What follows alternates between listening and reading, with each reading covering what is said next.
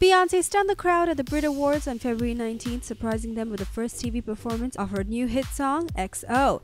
Beyonce is known for being flawless, but her performance of her new hit song XO at the February 19th Brit Awards took things to a whole new level. B hit the stage in a jaw-dropping floor-length sequence gown and wowed the crowd with a stripped-down performance that will be sure to have everyone talking. It was a great move for Beyonce who was performing XO for the very first time in front of a live televised audience. She didn't go for theatrics in the performance, instead relying on her voice and hypnotic stage presence to sell her latest hit. Of course, the gown, which also featured cutout mesh sleeves, also told a pretty sexy story.